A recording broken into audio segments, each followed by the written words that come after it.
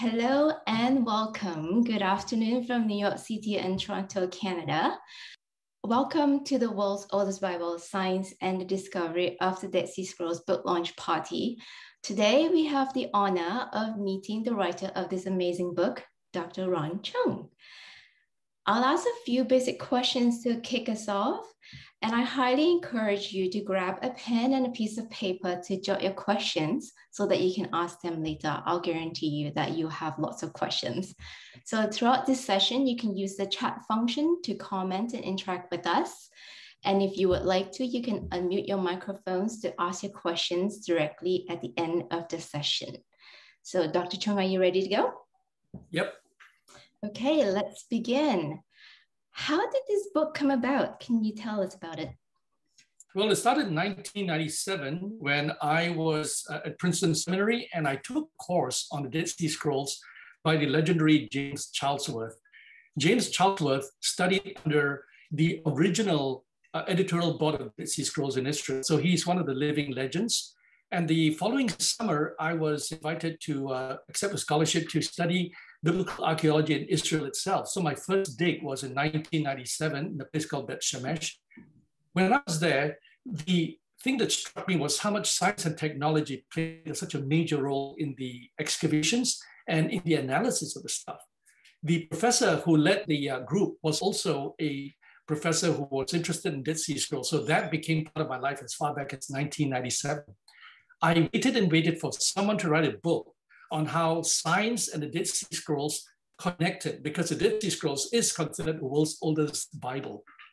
It never transpired. So about six years ago, I decided, you know what, I'm gonna write one myself. I'm tired of waiting for it to happen. And that's how it began. Okay, so why is the Dead Sea Scrolls the world's oldest Bible? Well, before the 1947 discovery, when someone asks you, the Bible you have in your hand, where was it copied from? What is the oldest extant Bible? Extant simply means surviving Bible we have. And the oldest, and it's not even complete, is the one called the Aleppo Codex, dated to AD 925, meaning the oldest copy of the Bible we have is a thousand years at the time of Jesus. That's a very long time.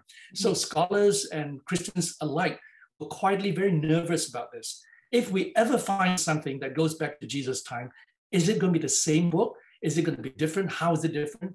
We know that it will be a bit different. We suspect it will be different because we have multiple copies of even the 1,080 books. There are several books in that period. So, but until 1947, we don't have any physical proof.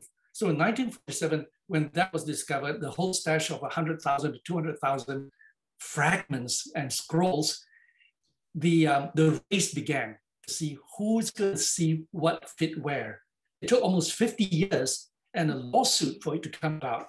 And one reason it took so long was because this is something interesting. The entire editorial board of the first Dead Sea Scrolls um, team were not Jews at all. They were Christians, Catholics, Protestants, but Jews they were systematically um, not allowed to participate. There were a lot of reasons, some political, some just sheer anti-Semitism, but that was the problem. And later on, they, they reversed that and changed it now. The entire team are mostly um, mixed from Christians to some non-religious people, but they knew the book well, as well as Jews. So that's why we now establish that the Dead Sea Scrolls are part of the world's oldest Bible.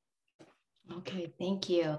Um, so let's go back to the book. Can you tell us briefly what to expect from the book? And to the participants, feel free to um, write your comments and uh, we'll get to your questions and comments uh, in a little bit. Well, for those of you um, in New York City, you may be interested to know that four of the seven most important scrolls were sold in New York City in a hotel called the um, Waldorf Astoria Hotel. Some of you may remember that in 49th Street.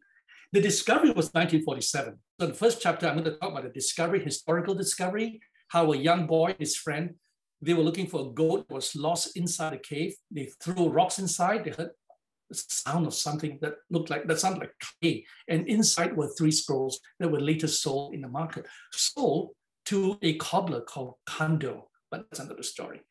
In any case, the seven are reunited. In chapter two, I'm going to mention why there is no complete scroll. Every scroll is incomplete. So that became a problem for the editors to say, shall we tell the whole world we have, say, for example, the book of Isaiah, because it wasn't complete. There are holes everywhere, some are broken bits, so it took some time. In chapter two, I'm going to mention three things that was very important in archaeology, identifying, dating, and editing the scrolls.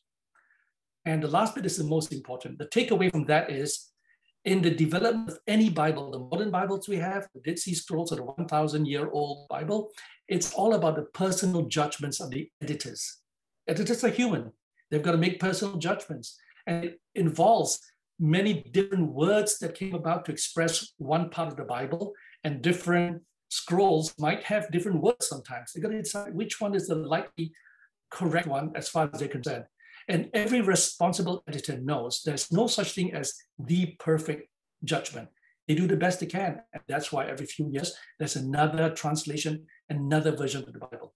In chapter four, I'm going to mention something some of you who have been studying with me will recognize the seven Eurasian civilizations that contributed to the writing of the Bible Mesopotamia, Egypt, Assyria, Babylonia, the Persians, Greeks, Hellenistic Greek that is, and the Roman Empire. These seven civilizations, their languages, their culture contributed to it.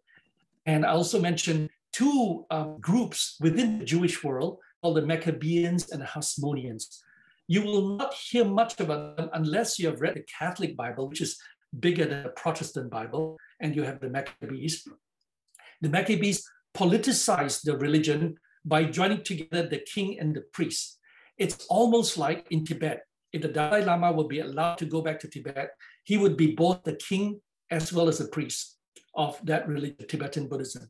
It hasn't happened in any other modern country that we know of, except possibly Nepal at one time, because Nepal is the world's only Hindu country, not India, Nepal.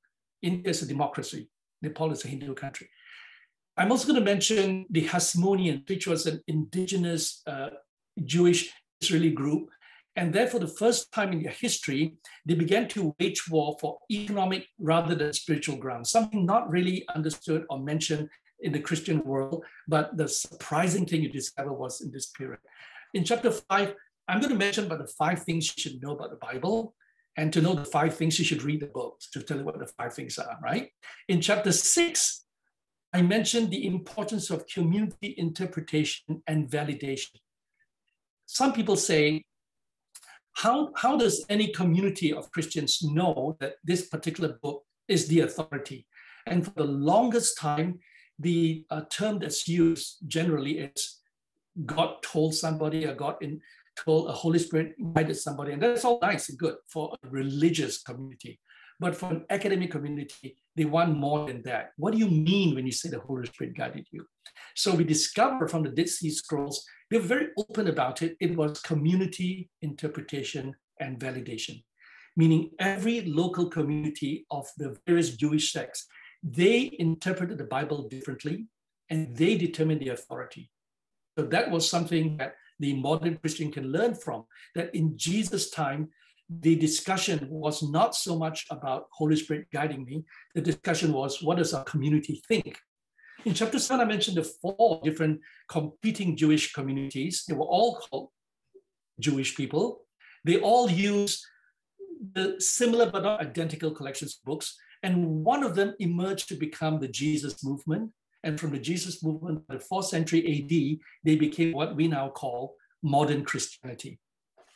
In chapter eight, it's the story of Abraham to Jesus, where I describe in more detail how did this early religion, which is a national religion of a people group, emerge to become a global religion called Christianity? And chapter nine, uh, the title is From Stories to Scriptures. Here, we're going to ask about how these books were authorized to become the scriptures. And chapter 10, probably the most interesting for me, it's a lot to do with the sciences. It's called Science and God's Revelation. And we'll discuss the three R's how in every religion, in every holy book, the scriptures were retold, reinterpreted, and rewritten, every one of them. You do not find in any religion any holy scriptures that has not been revised in any way. And there's some good reasons. One of them is human language change. The way we use identical words have changed its meaning over time. Now, in the book, I mentioned an example of the word virus, because the word virus is a Latin word simply meaning poison. Now, today, we think of virus as coronavirus, that infects us, but this idea of the coronavirus didn't appear in the early days because in the early days, they didn't know about it. All they knew was something is killing bacteria. So that something was poisonous to bacteria. And that's why they call it a virus. By 1937, they invented the first electron microscope. For the first time, we can just about see something like a virus. Now, of course, by the 1970s, 80s, the word virus was changed again. And now we think of the virus as a computer virus, a code that changes. So I give you the history of that. A single word, how it changes its meaning over time. So can you imagine any word in the Bible, 2,000 years, if you look back to the Old Testament, you add another 500 years. That's a lot of words changing meaning. So every translation of a Bible, every version is an accommodation to try to capture what these words mean to us today. So that's, um, that's a 10 chapters um, in a nutshell. Thank you so much for sharing a summary of each chapter from the book. Um, as I worked on each chapter with you, I've learned so much and uh, I highly encourage you guys to buy the book if you haven't checked it out yet. Um, speaking about the book, why don't you show us how it looks like? This is the hardcover in blue, and this is the paperback in orange. As you can tell, they are massive books. They're not your regular six inch by five inch paperback. This is full size, letter size. And the reason we chose that was because of uh, Christine's infographics, because we want to make sure that people can read it because they can be quite big. Well, apart from that, We've got the um, scientific work as well on particle physics. So we make sure it's small enough, uh, sorry, it's big enough to see. And let me just show you. So this is one infographic on reinterpreting Revelation, a whole page. If you reduce this to a small paperback page, you're going to squint your eyes and can't see much of anything. And so that's that's why this is another example of a chart that asked the question when the devil brought Jesus up to the highest mountain to see all the kingdoms of the world, are we to interpret that as a literal event or a symbolic event? And some people still think it's literal. So I gave the mathematical and physical reasons why it's unlikely to be the case, because Jesus would have to go so high up, it'll be 121 times the height of Mount Everest today. He would have to endure a temperature of minus 85 degrees Fahrenheit and air pressure, very low pressure. So it's unlikely, which means, but at the time it was written, people didn't know that. A lot of people thought if you go high enough, you can see everything. At a time when a lot of people felt the world was flat, although the Greeks already suggested that the world might be curved or round, but there was still a common understanding that if you go high enough, you can see further and further and further. So we now know that's not the case. And this is an example of how science and technology can sort of keep us honest, not about the text, the text is the text, but to keep us honest in our interpretation of it. We have one question in the chat, but I do have one last question for you to answer while we get uh, wait for more um, questions and comments in the chat. So don't be shy, guys. Uh, start interacting with us. So my last question to you, you mentioned in a post um, on social media that, that this is perhaps your most important book to date. So in this book, you mentioned at the end of chapter 10 about spiritual integrity. Can you explain to us what this means? In the academic world, when we talk about um, academic freedom, a professor will say, I want the freedom to research so that no one who funds the research can tell me what I can and cannot say on my conclusions. That's an issue of academic integrity. In the spiritual world, I think it exists as well, except in the spiritual world, we don't really have something called peer review, where people will check what you say as a, a religious scholar um, from the context of belief. You can check what you say from the context of history, of um, linguistics, and all that. What I wanted was, can we meld the two together? Meaning, can we have someone who believes in God also take seriously the questions that others ask of them, which means there are no sacred cows as such. Every doctrine, every teaching that I'm involved in, um, be open to people to ask questions. Why? Partly because we know beliefs are either um, inherited, adopted, or adapted, and very often all three we adopt our beliefs that we heard from our parents, from teachers, from our friends. And over time, as our lives change, our ideas change, we, we keep adapting them until it reflects what we believe. So that changes as well. And the other issue about integrity was it led to um, me writing a great deal. And then, as you know, Christine will have to take over in a few seconds. And then one day, uh, Christine went to my website and she saw that. And just to tell you, you know, she's not a Christian, she's a Taoist, Buddhist. And well, you take over, Christine. Tell us the story of how the infographics came to delay. Oh my goodness, you're putting me on the spot. I wasn't prepared yes, for this. Um, just a little bit of background. Um, so I'm from Malaysia. Uh, I've been an instructional designer of 16 years. And what that means is that I design instructions.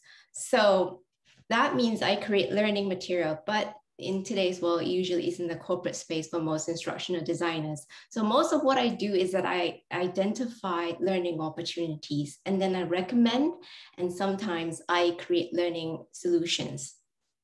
So on this project, I saw an opportunity to stretch my instructional design skills to apply to a subject matter that I've always been interested in, uh, and that is religion. And I'll come back to this in a little bit.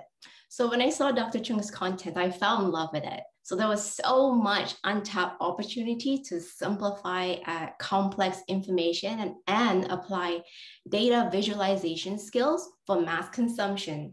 I really felt that everyone needs to know what he has to say. He's put his entire life into the information that you read in this book. So going back to religion, um, as Dr. Choong mentioned, I, am not a Christian, but um, while what I learned um, while working on this book was exactly that spiritual integrity.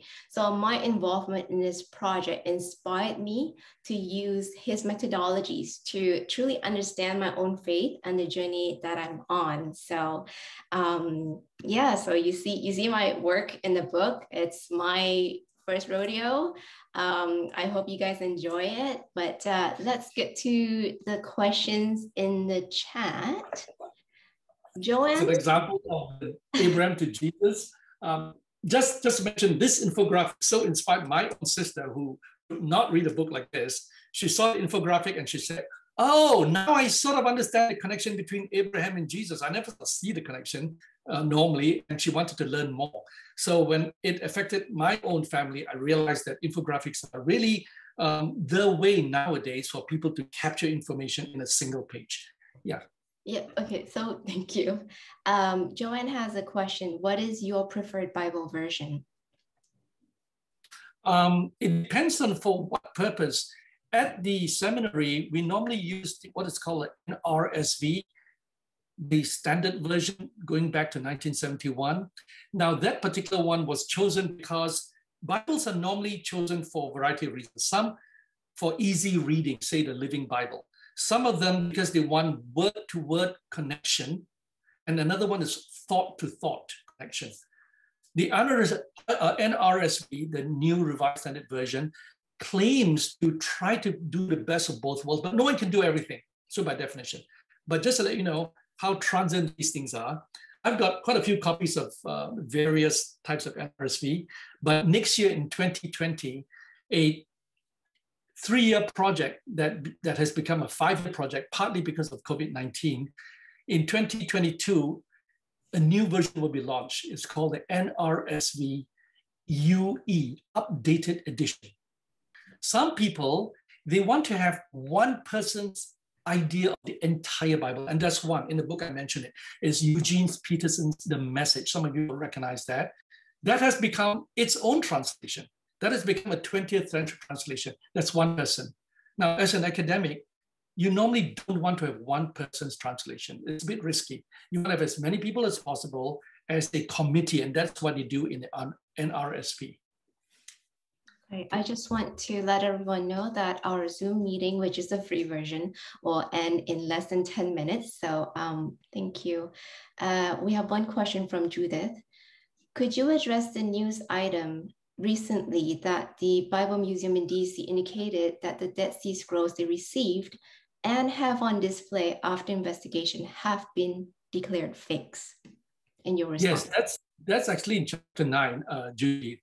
Believe it or not, while we were working on this, about to publish in March, the news came out back to back, two days. One news was fantastic, one news was rather sad. So the sad one was after quite a few months, and in fact, quite a few years of uh, due diligence checking it, the Bible Museum, and I uh, commend them for it, were honest enough to say all 16 fragments of the Dead Sea Scrolls we have are modern 20th century forgeries.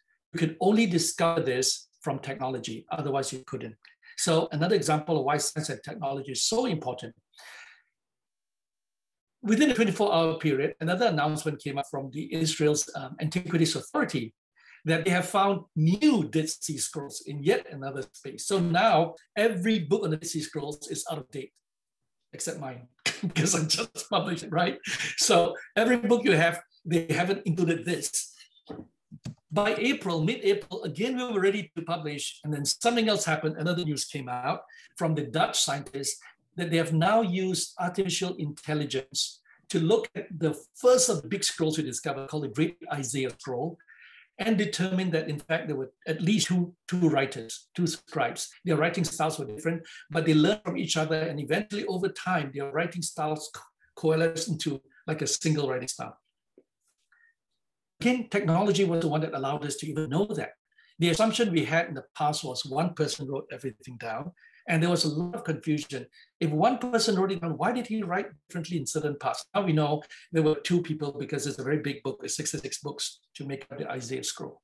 So this is one, uh, one reason why we delayed again until I think final print uh, was April 20th. No, sorry, April 23rd. So this is a very, very new book and it included that bit. Now, Judy, if you're asking, what does it mean for us Christians that the 16 fragments that was put into a museum is now shown to be um, forgeries, right? Like other museums, the Bible Museum that was started by a single family, I think Green family, they purchase from private um, sellers. And when you do that, there's always a risk. There's nothing called a provenance, which tells you where did you get it from, where did you get it from to the very earliest, right? The museums of the world, like the Metropolitan and the Brooklyn Museum and uh, the British Museum, they would not do any of these because it's too risky. So it was a private museum, a lot of funding, um, and I think in good faith. I do not for one moment think they meant to, um, to lie to anybody. They were excited. The owner made a lot of money from his business, and he wanted to honor God by having a museum that can collect his own collection from other collections. But it, it kind of um, warns us on the dangers of rushing to make proclamations and statements that could embarrass us later when the data comes up. But I, I want to say um, that I commend the owner of this museum that when they were confronted with the data, they didn't say, they didn't shut it down. They said, I want to spend a lot of money on independent um, investigators to confirm if it is original or it's um, a fraud. Right, we have less than uh, five minutes to go and two more questions in the chat. Is the, uh, Ravi asked the question, is the NRSV and the revised standard version from the same editor or are they from different denominations? There is, the Bible, the NRSV is not a denominational Bible. It's not a Catholic Bible, it's not a Protestant Bible. It's a Bible largely used for scholars who, once you study as a scholar, all the denominational interests doesn't mean much to you because you're going way back. Before there were Baptists, before there were Protestants, before none of these stuff are important when you actually study the Bible as the Bible. And the NRSV is the new standard, uh, new revised standard version. It's the same thing, uh, Ravi. Um, did I answer the question fully? Is that it? Uh, uh, yeah, that's right. Um, and the last question we have in the chat from Drew, what is the change or impact you hope to have on a reader who picks up this book to read, who has never read anything else by you? Very good uh, question. Some of you know in the year 2000, I started a program called Project Timothy where you are where people have the chance to read all 850,000 words of the Bible, of the Protestant Bible, in a three-year period. And I uh, published three books to accommodate that. Looking back now, I realize that they should have read this book first, because this is a primer to those three books. And the reason is this. Whenever we study the Bible, those three books, people will say, but the Bible says this, and the Bible says that. When you read this book, you know there's no such thing as the Bible because there were multiple versions even in Jesus' time. So that was a shocking thing to, to discover. Um, for those who have never read any books before, I hope they get two things out of this. Number one, the Bible is a work in progress. And as important as the Bible is, God's primary revelation has always been nature. Nature has been around long before anyone learned to write.